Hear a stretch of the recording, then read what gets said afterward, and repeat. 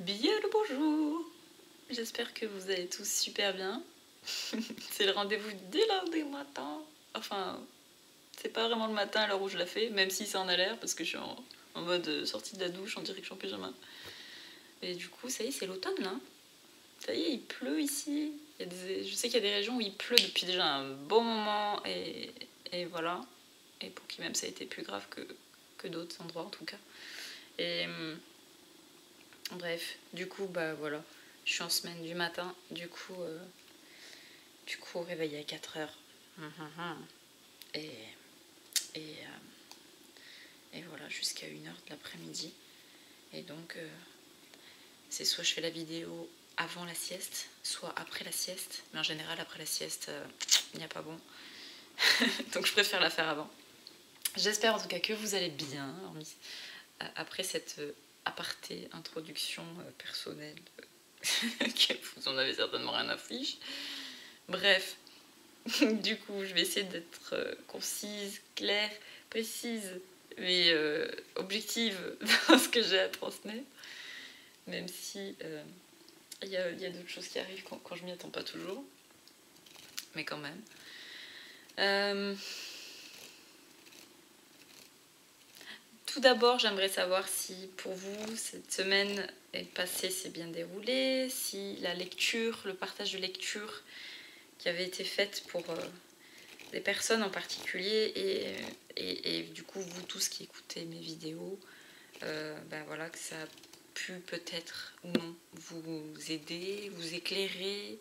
Est-ce que vous voyez des choses dans votre vie avec lesquelles euh, vous sentez qu'il y a qui a, a cette.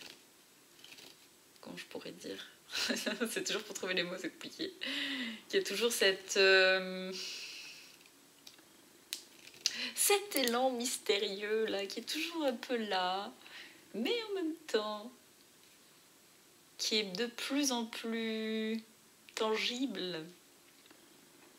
Est-ce que du coup ça vous parle? Est-ce que est-ce que, voilà, quand je dis ça, c'est vraiment en référence avec le passage de lecture du conte de Paulo Coelho, La chimiste, que je vous ai fait lundi dernier, concernant les gouttes d'huile que le sage invite euh,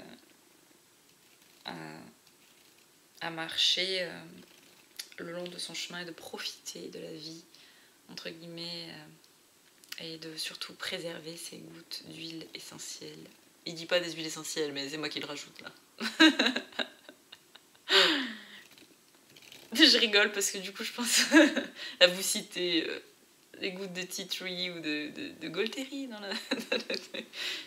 ça, c'est, un petit clin d'œil aux sportifs, ça, c'est pour ceux qui savent. à qui ça va parler. Bref. voilà, il y a des choses qui sont essentielles. Et d'ailleurs, à ce propos, effectivement, je m'aperçois que le sport est hyper, mais hyper important en fait. Euh, alors je dis pas qu'il faut forcément faire du sport en mode euh, acharné de ouf et tout de bourrin, mais ah, quand même, moi je trouve que que ça me correspond quand même bien, même si c'est pas forcément évident de se motiver tout le temps, mais ça aide énormément à éliminer, à chasser les pensées euh, noires, à broyer du noir. Et aussi la satisfaction personnelle, de se sentir bien dans son corps en fait, sentir qu'on se sent tonique. Ça aide au maintien de notre posture corporelle. Ça aide à, voilà, avoir plus de gainage, de force, de solidité, donc même d'appui. Même dans nos mouvements du quotidien en fait. De faire du sport, c'est bénéf pour plein plein plein de choses. Enfin voilà, j'apprends rien là en disant tout ça. Il y a des gens euh, qui connaissent tout à fait le sport depuis très longtemps. Euh. Bah, moi, c'est encore des découvertes, encore. Hein. J'en ai eu fait, j'ai arrêté, j'ai refait, j'ai arrêté, j'ai. Ben voilà. Et là, ben, de, s'y remettre, mine de rien, je sais que c'est vraiment ultra bénéfique et, je, vous je vous y encourage en tout cas euh, à, préserver en tout cas votre, votre morale, votre, votre corps, votre santé en pratiquant une activité, une activité, une activité, une activité sportive régulière. Ça fait du bien. Même de la marche ou ce que vous voulez en fait. Mais voilà, ce qui vous fait du bien. Bref, j'étais pas partie pour dire ça, mais écoutez. Donc du coup, quoi? Euh, Pour dire par rapport à... Quelle est cette chose essentielle que vous préservez, quel que soit le domaine dans lequel vous œuvrez dans vos vies, dans vos vies respectives, je dis vos vies parce qu'on est tous dans nos vies, euh. Et euh, je sais qu'on voilà, se confronte souvent à des doutes, ça je devrais moins bien faire ou mieux faire, ou est-ce que tac, ou... Enfin non, moins bien faire, ça, ça n'existe pas, hein. je crois pas qu'on puisse moins bien faire. Enfin, si, ça nous arrive de faire moins, parce que des fois on, est plus fatigué, ou alors on, se trompe, on fait des erreurs, il y a des échecs, mais c'est pas vraiment l'objectif en général, je trouve, il me semble, de moins bien faire. Je crois pas.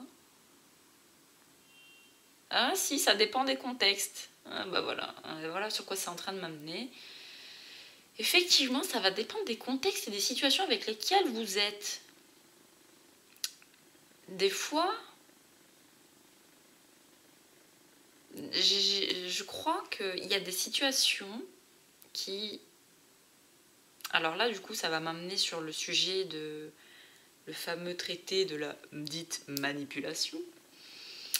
Euh, lorsque on, on veut rendre service à quelqu'un, il y a des situations où on va se mettre en posture de moins bien savoir qu'une personne pour que cette personne puisse euh, développer son autonomie, sa confiance. Et du coup lui faire croire, entre guillemets, bah, qu'elle sait mieux. Et ça, c'est une forme de manipulation, par exemple.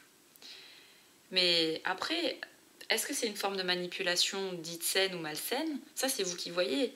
Moi, je pense que quand l'intention est dans l'intérêt du bien de quelqu'un, pour moi, c'est honorable.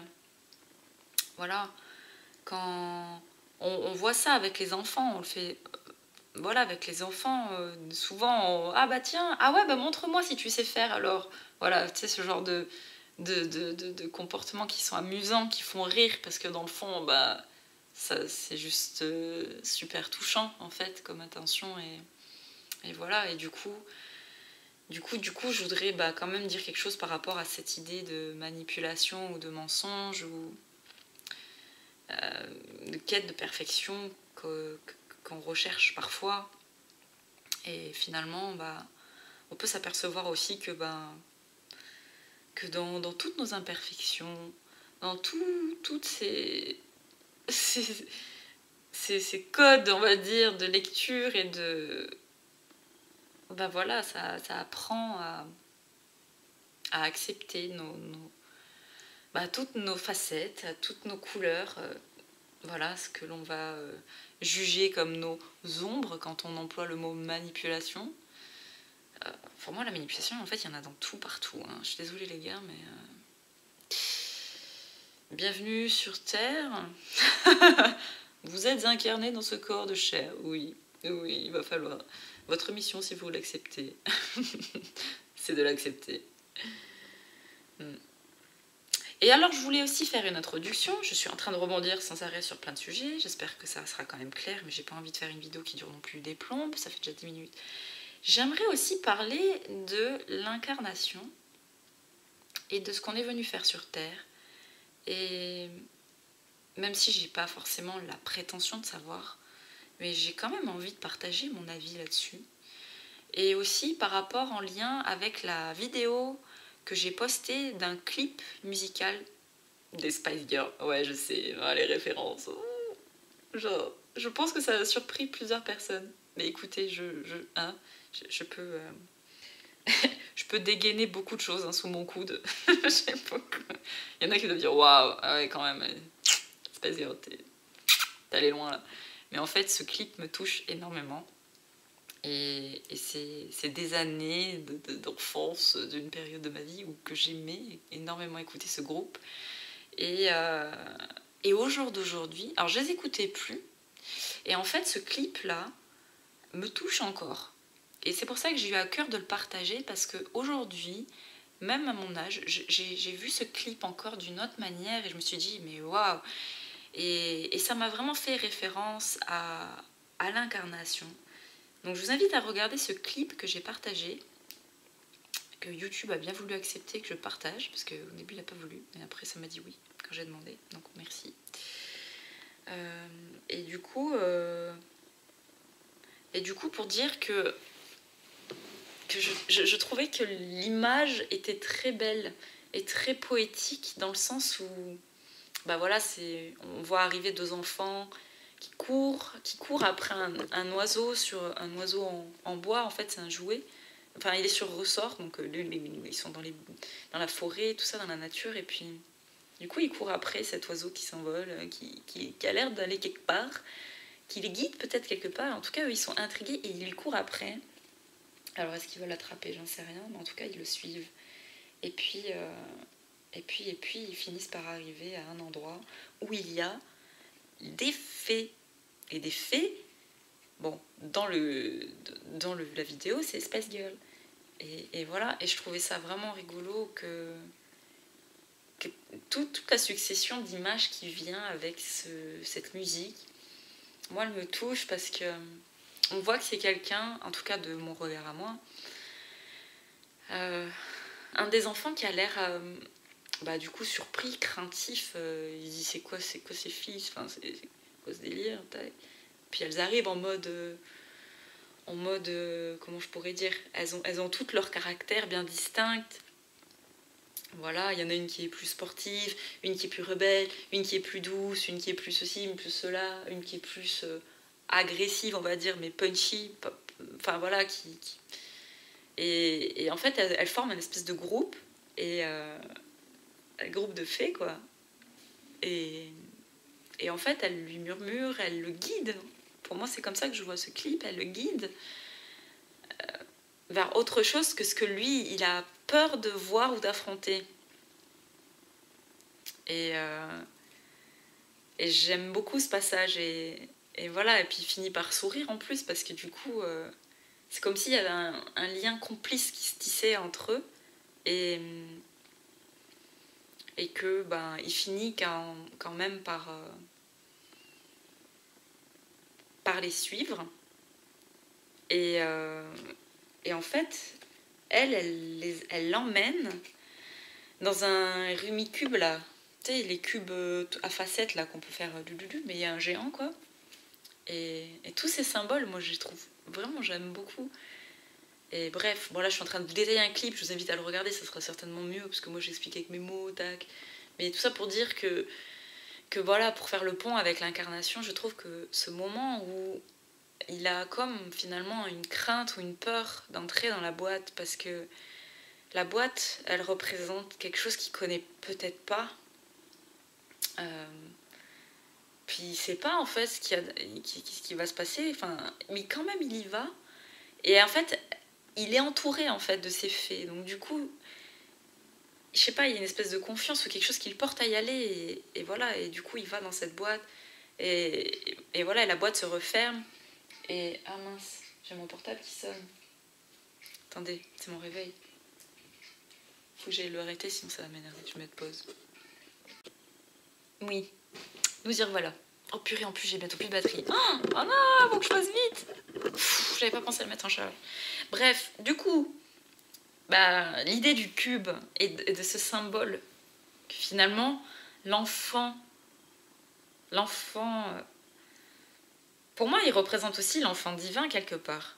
L'enfant, c'est l'innocence, c'est, voilà, on arrive avec toute notre fraîcheur et notre innocence, notre fougue et notre curiosité, notre passion d'apprendre, de, de, voir, de découvrir, de rire, de, de partager, enfin voilà, explorer quoi. Et c'est un peu comme si, ben, ce,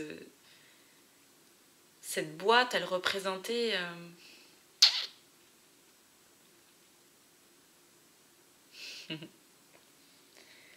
Et allez C'est reparti, il a fallu que ça aille sur ça.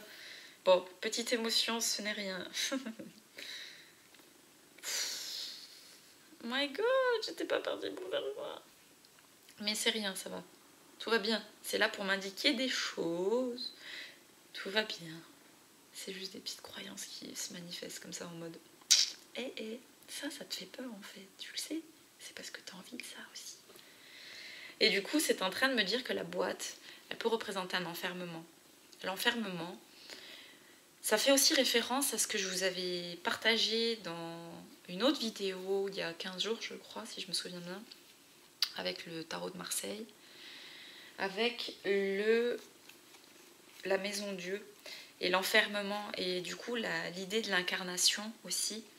Ben, finalement, euh, voilà ce que j'aimerais dire comme point, c'est qu'on peut aussi se sentir enfermé, on peut se sentir clôturé dans nos instincts, dans nos pensées, dans, plein de choses qui des fois, euh, je sais pas si ça vous le fait à vous, mais où on peut ressentir même limite de l'aversion en fait pour le genre humain.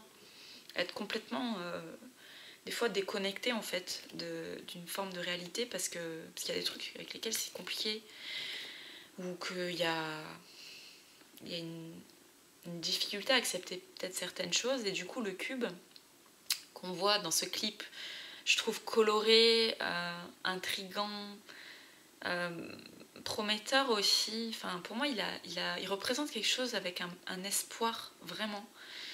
Et du coup, euh, du coup, c'est pour ça que j'ai vraiment envie de faire ce clin d'œil à l'incarnation et, et, en fait à, nous, à tous, je pense, notre part en nous qui... Arrête J'aimerais bien discuter tranquille dans mes vidéos, d'accord? Fou ça. J'ai compris. J'ai compris maintenant. Bah oui, mais du coup, ça, ça me le re-appuie dessus. Mais en fait, c'est. Oh, faut que je réussisse à le dire. Comment on va dire ça?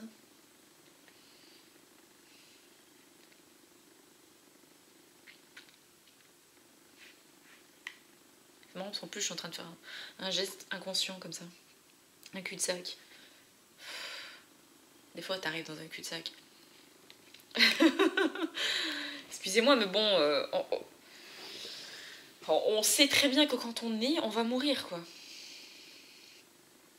Donc, euh, donc peut-être que c'est ça.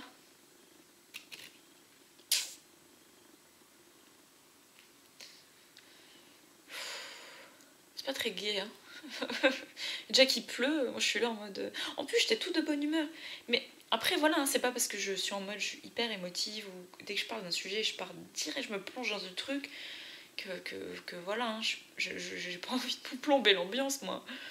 Je suis là pour parler de choses qui m'intéressent et qui, qui, voilà, ça fait travailler intérieurement des choses pour moi. Et j'ai à cœur de les partager parce que, parce que je pense que c'est important de s'en occuper. Hein. Bref, l'incarnation.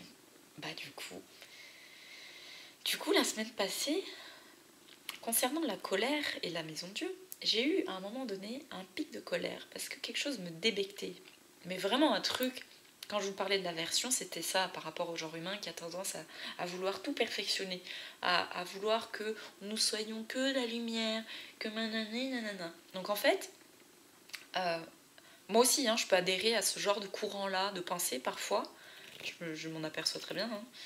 Mais la semaine, courant de la semaine passée, je vous garantis, j'ai eu un pic de colère, mais un truc genre, mais, mais c'est plus possible à entendre pour moi ce genre de truc par exemple, les personnes qui vont, euh, qui vont prôner, euh, oui, quelle que soit l'action que tu puisses faire ou ne pas faire, des gens vont se permettre de partager leur avis, ce que je fais moi aussi, ce qu'on fait un peu tous quand même plus ou moins, il me semble. Et, du coup, euh, des fois, de dire que oui, là c'est vraiment, tu es dans la lumière, mhm. c'est bien ce que tu as fait, tu es dans la lumière. Moi ça, ça me, fou en l'air, le truc.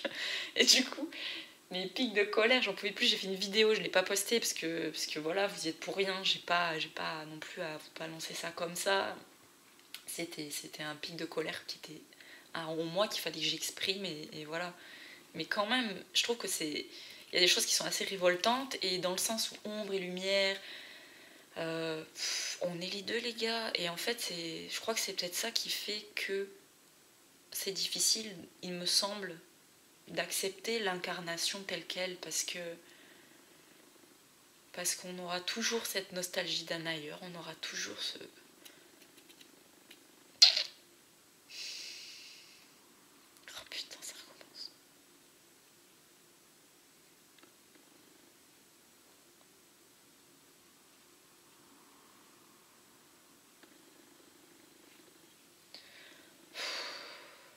je me fatigue, moi-même des fois.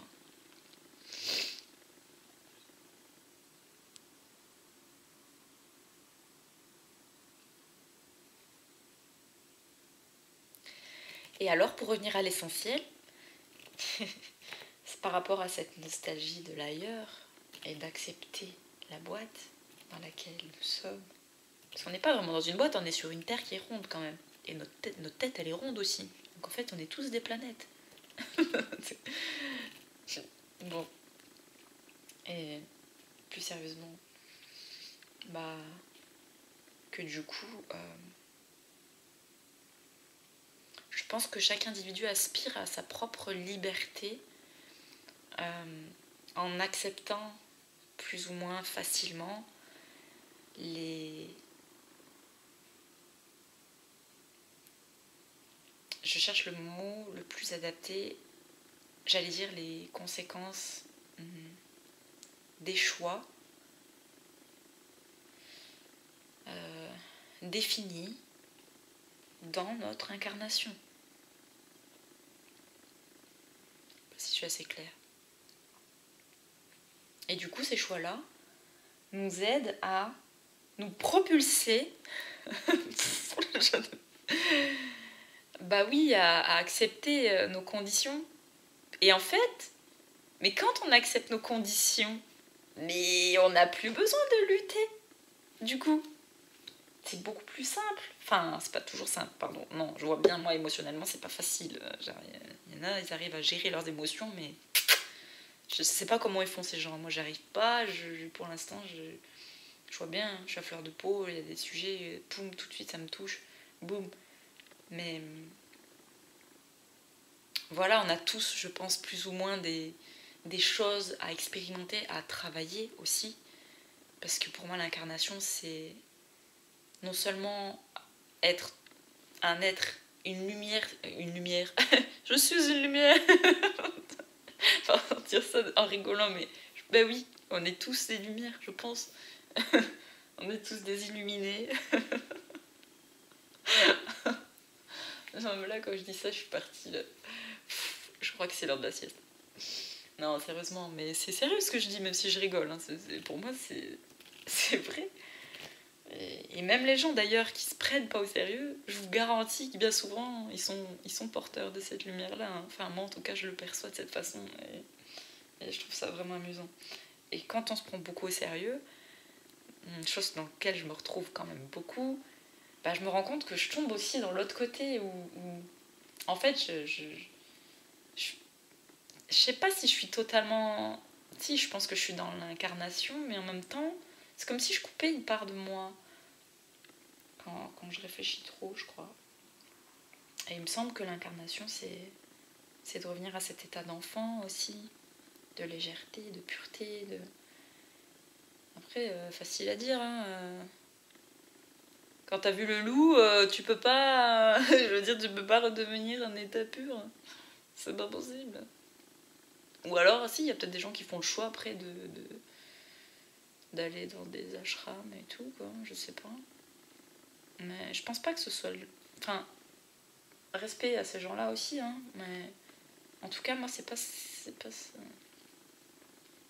Bref, et l'incarnation, bah. Bah, qu'est-ce qu'elle est pour vous, l'incarnation? C'est quoi pour vous l'incarnation? Je serais curieuse de lire vos commentaires. Partagez aussi vos, vos points de vue, c'est la bienvenue, échangez, hein, cette chaîne est là pour ça. Moi, j'ai tendance à parler tout le temps des trucs, des sujets perso, de, de, de, de thèmes, et voilà, et des messages selon ce qui m'inspire. Mais voilà, pour moi, voilà, c'est l'incarnation. Oui, nous sommes des êtres spirituels, incarnés dans un corps physique.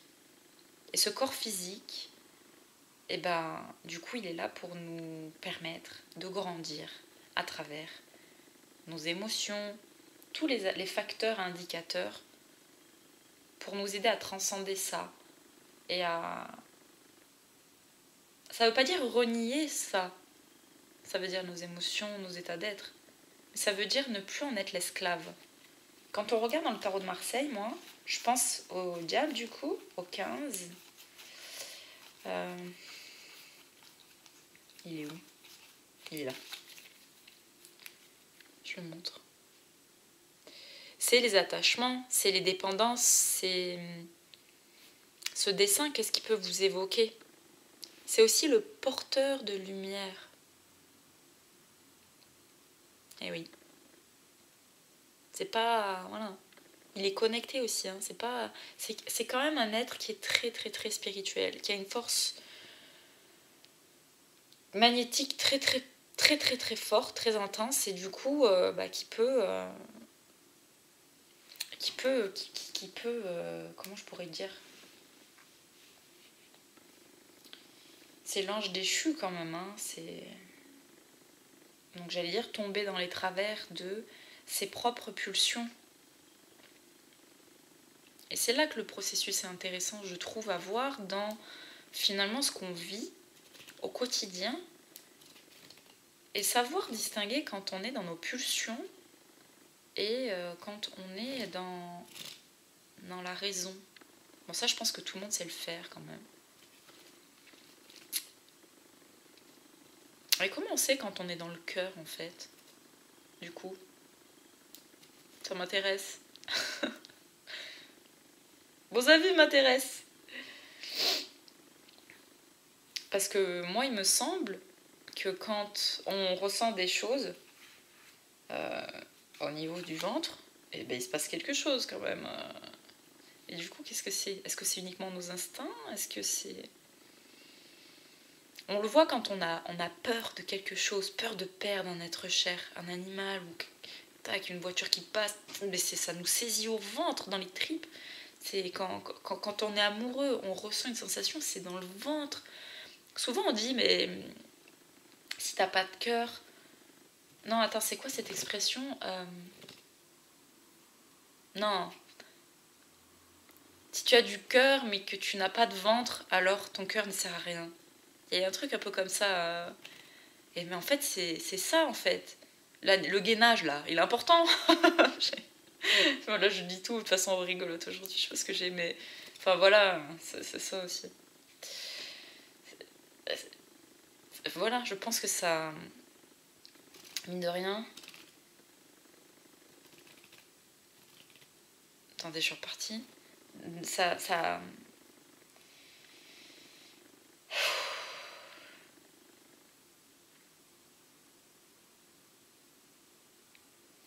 Le diable, un peu. Il rend fou un peu, je trouve. Parce que du coup, il joue avec nos instincts, il joue avec nos peurs, nos failles nos attachements.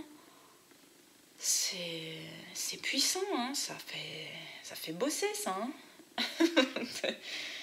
Et pourquoi je suis allée sur lui? Parce que pour moi, quand il est maîtrisé, et eh ben, il sait comme alchimiser en fait le pouvoir des attachements dans la matière en lumière. Et je pense que c'est là qu'il met de l'amour. C'est l'énergie du diable qui fait ça dans la matière pour pouvoir accepter les joies et les plaisirs de l'incarnation. Et s'il n'y a pas d'amour, alors ça reste uniquement à l'état, euh, euh, comment je dirais, de, manque, de dépendance, Enfin, on peut être amoureux et être dépendant aussi, c'est pas ça, mais se sentir en tout cas codépendant. Mais. Comment je peux dire ça?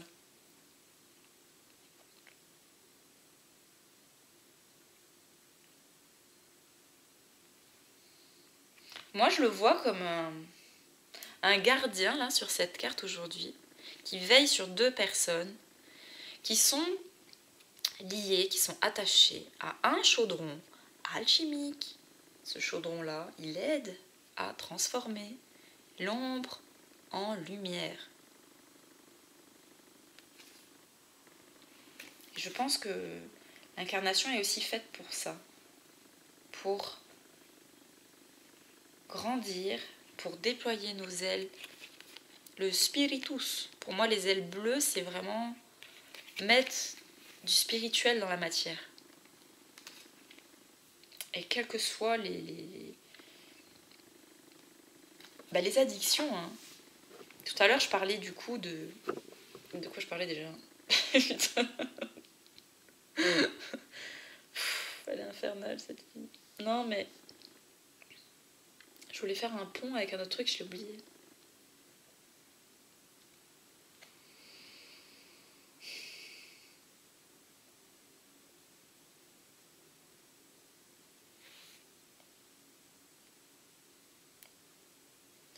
Quand l'énergie du diable est harmonisée, pour moi, euh,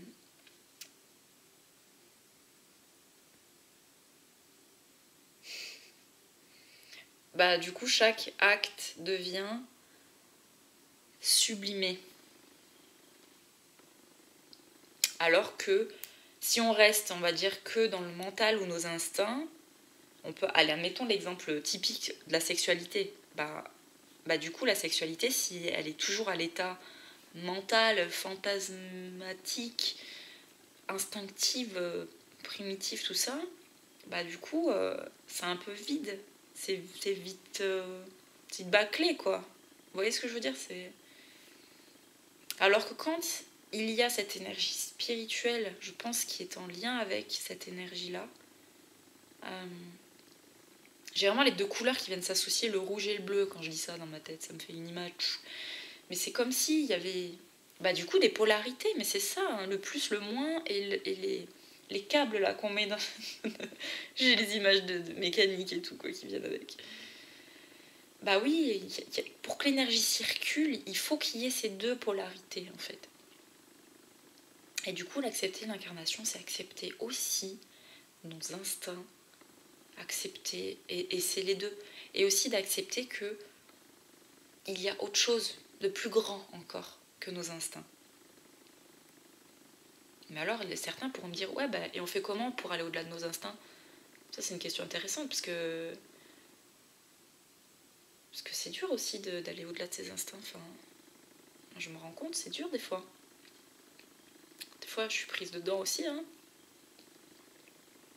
Alors, on fait comment?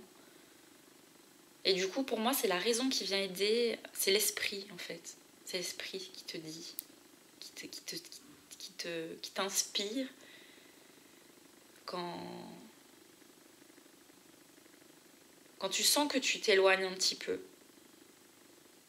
Après, euh, la vie, c'est pas linéaire. Hein. C'est pas une ligne droite, genre euh, c'est toujours une ligne et tu restes sur une ligne. C'est pas ça. Hein. C'est une courbe. On a des pics comme ça. C'est une danse aussi. C'est comme ça en fait. Donc ça sert à rien de renier nos pulsions. Comme j'ai été énervée la semaine dernière quand j'ai lu euh, une phrase euh, Oui, est-ce qu'aujourd'hui je choisis de nourrir que l'ombre ou je choisis de nourrir que la lumière? Mais, mais j'ai envie de dire Mais ta gueule avec ces phrases pourries là. Les gens, ça les complexe d'être qui ils sont entièrement. Arrête, ça rend fou les gens, ça c'est pas cool du tout. Enfin, je pense que c'est part d'une intention qui est quand même quelque part honorable, je pense, parce que c'est dans l'intérêt de, de, dépasser nos instincts. Mais à force de, lire moi des trucs comme ça, ça me débecte parce que du coup, c'est pas ça, ça pas avec moi ce truc-là. C'est pas un truc qui colle. Il faut que, enfin il faut, selon mon regard d'aujourd'hui, il doit y avoir les deux. Mais bon, euh, voilà. Hein en même temps, on a tous fait l'expérience de ce que ça représente aussi nos instincts, de voir où est-ce que ça nous mène, ce que ça nous amène. Et ça aussi, ça fait grandir. Hein. Donc, euh, force est de constater que euh, on est tôt ou tard obligé en fait de, de transformer les choses. De s'orienter différemment ou de d'adapter en tout cas nos fonctions nos fonctions vitales c'est pas du tout ce que je voulais dire mais nos fonctions nos fonctions de base dans, autrement voilà. Aujourd'hui c'est compliqué de dire,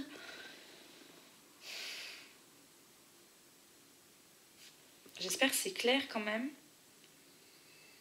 Et euh, moi sur mon jeu de tarot euh, mes lames de tarot sur l'arcane du diable, moi j'ai le guerrier aussi, qui est qui est nommé parce que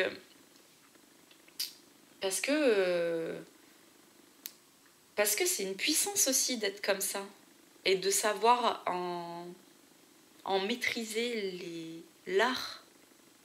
C'est voilà quoi. C'est un chemin me semble. Ça fait déjà 20 minutes. Et en plus oh là là ça va bientôt couper.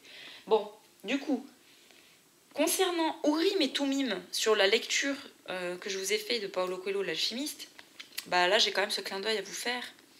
Et Urim et Tumim, ça signifie en hébreu perfection et lumière. Ou lumière et perfection, je crois. Urim c'est lumière, perfection c'est Tumim. Je crois que j'avais marqué un truc comme ça. Voilà. Et, euh, et, du coup, dans le passage, sorry, il y avait plus de place dans la carte mémoire comme d'hab. Il faut que je, vraiment je pense à la vider euh, plus régulièrement. Et aussi, j'ai bientôt plus de batterie, donc il faut vraiment que je me dépêche à finir la vidéo. Euh, ah oui, j'avais noté pour m'en souvenir que Lumière, il disait que c'était le nom et que la perfection. Non, pardon. Excusez-moi. Donc, Urim signifie la lumière et ça s'associe au oui. Et la perfection à la lumière blanche et là au non. Donc en fait, c'est tellement symbolique pour moi de faire le lien avec cette, ce passage de lecture que moi aussi j'intègre avec vous parce que je l'ai lu il y, a, il y, a, quelques jours avec vous. Et, et, pareil, ça fait son chemin pour moi et je me dis, mais, mais oui, mais en fait, dans l'incarnation, on est, on est là à avoir une espèce de lutte intérieure souvent et qui aussi se manifeste à l'extérieur, dans nos relations, dans plein de choses de la vie, tout ça parce qu'on est en quête de perfection, mais en fait, on nous dit non, en fait. Non, arrêtez, c'est pas le chemin. Et la lumière, oui, elle est là. Et elle n'est pas forcément là où on pense qu'elle se trouve toujours. Pour moi, c'est vraiment comme ça que je le vois. Après, euh, voilà, je ne détiens pas la vérité ni quoi que ce soit, c'est juste ma vérité, ma façon de voir les choses et comment je vous le transmets avec mon regard. Donc évidemment, je vous invite toujours à, être vigilant, à voilà, juste simplement écouter euh, ces partages et voir si pour vous ça vous parle, si ça vous aide, si ça vous inspire quelque chose ou si vous, vous avez envie d'y ajouter quelque chose, mais c'est la bienvenue aussi. Et,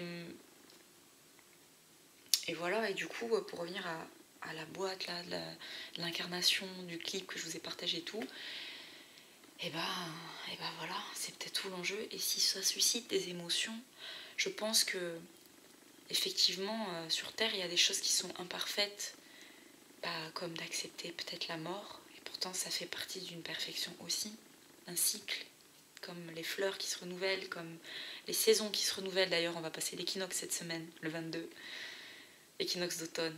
Hmm, ça va être des belles couleurs d'automne.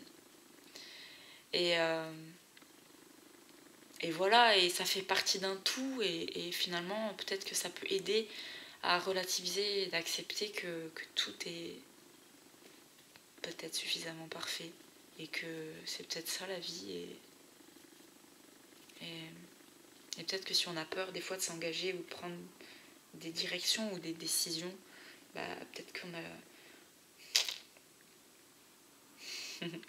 on sait que le temps nous est compté. aussi. Donc voilà, c'est tout ce que j'aurais à dire pour cette introduction. Euh, je pense que ça invite, en tout cas moi ça m'invite à apprécier chaque jour, chaque instant d'une autre manière. Même si évidemment il y a des jours où je vais être plus en mode euh, ou des fois ouh bah, tout fait partie de, la life. Et c'est très bien ainsi. Et, et voilà et, et vivons. Vivons ce que ce qu'on a à vivre ce qui nous semble être le plus beau sur cette terre. Et profitons-en parce que ça défile je pense plutôt vite du peu que j'ai déjà vu voilà j'ai envie de tirer une carte pour clôturer cette vidéo avec l'oracle de Romain Milo. Je trouve super. Message pour la semaine. Yang, le masculin divin. Hmm. Énergie masculine et féminine. Évidemment, on parlait des polarités. Bah, cette semaine, je crois qu'on est invité, voilà. En te reliant à la puissance du masculin, tu révèles en, toi des atouts exceptionnels. Tu reprends toute ta place, ta force physique, mentale et psychique s'en trouve décuplée. Mais clairement, moi je sais que j'ai tendance à être plus dans l'introspection, je vois bien avec la facilité dans laquelle j'ai de me plonger dans mes émotions, etc. Et du coup, moi, c'est de passer par exemple à l'action, d'être plus dans l'expression extérieure, même si je le fais beaucoup avec vous et c'est un engagement que j'ai choisi qui me fait du bien et qui me fait aussi plaisir. Mais en même temps, et dans le quotidien, où qu'on soit, je pense que là, c'est l'invitation à incarner cette énergie. Et du coup, la puissance du masculin, qu'est-ce qu'elle vous évoque Tellement de choses. Pour moi, c'est l'autorité. Non, c'est pas que ça. En disant ce premier mot, c'est comme si je je dévalorise cette énergie-là, alors que c'est pas le cas. Je le vois pas comme ça pour moi l'autorité en plus de ça, mais je vois quelque chose de sain là-dedans justement. Mais pour moi, c'est une forme de respect, une forme de cadre. On parlait de la boîte, donc du carré, du cube, on revient encore à ça en plus. C'est vraiment le lien là, vous voyez, on parle du cube, du carré, ça parle d'organisation, de centrage, d'aller, de rester sur des choses très tangibles en fait.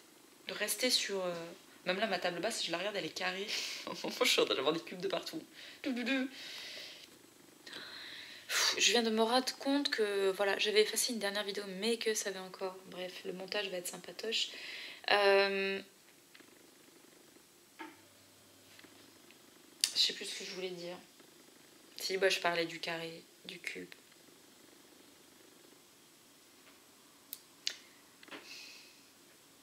L'autre jour au boulot, je parlais avec un gars et, on, était du même avis. On n'a pas eu besoin d'aller plus loin, mais en fait, euh, on s'est compris juste en cette phrase en se disant bah, mettre le rond dans le carré. Et si mettre le carré dans le rond aussi, c'était. C'était compliqué. Ou en tout cas, c'était un challenge.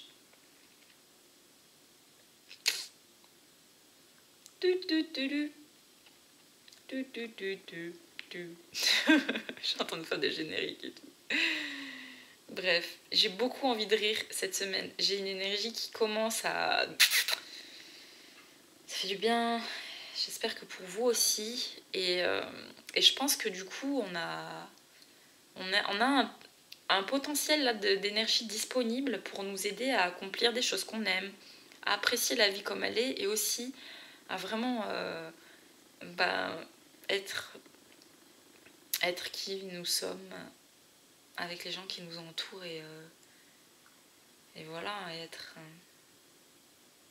suffisamment stable et souverain, quoi que vous fassiez. Pour moi, il y a beaucoup d'humour aussi. Le yang, c'est, une posture, mais moi, j'y vois aussi quelque chose de drôle. Je sais pas pourquoi ça m'amuse. Bah après, juste avant, hein, je vous ai parlé du gars. Je vais retourner la carte, hein, parce que moi, cette énergie, elle me. je, la connais aussi. Je la connais bien. On les connaît toutes bien. Bref. Bon, voilà, j'espère que ce message vous aide, va vous, vous rythmer, vous guider. Euh, non, mais en plus, le numéro, c'est génial. 22. Mais tellement, mais c'est pour ça que je me sens un peu excitée et un peu fifou. Parce que le 22, dans le tarot de Marseille, c'est le mat, c'est le fou. C'est le fou, c'est le bâtisseur. Et pour être bâtisseur, 22, il est aussi... Il n'a pas le nombre aussi. C'est soit le 22, soit le 0. Mais du coup, le 22, en numérologie, quand on assemble les deux, bah, du coup, ça va, ça va donner le 4. C'est celui qui part avec l'essentiel dans sa besace, qui a la foi il est poussé par sa foi et son bâton de pèlerin. J'adore. Et, euh, et, voilà, il n'a pas peur d'être excentrique, d'être lui, d'être unique. C'est quelqu'un qui, qui se recycle sans arrêt. Il rentre dans aucun cadre. C'est pour ça que c'est hyper paradoxal. Parce qu'on a l'énergie 4 qui est très là, qui est très présente, est très là. Oh là là, Priscilla, aujourd'hui, là, j'ai pas trop fait d'efforts sur les phrases. Mais ça vient comme ça. Euh, voilà, le 22, le 4. Voilà, j'ai plus les mots. C'est vrai que des fois, j'aimerais juste parler en énergie et boum, et c'est bon, ça passe, et vous comprenez tout ce que je dis. c'est bon. Bon, voilà. Puis ces belles énergies vous, vous accompagner cette semaine, et, et voilà. Voilà, voilà. Voilà, voilà. je vous souhaite une belle semaine à tous. Que la beauté vous accompagne partout. Et, euh, voilà. Ah, et en dessous, on a le bonheur. Ben voilà, en plus le chat. Il est des moments où le bonheur est ultime. Lorsque tu vis l'instant présent, la connexion à la vie est intense. Et tu ressens une plénitude intérieure qui ne te fera jamais douter. Tu es aimé tel que tu es, ici et maintenant. Ça aussi, c'est un message. Allez, je vous souhaite une belle semaine. Prenez bien soin de vous et je vous dis à tout bientôt. Bye bye.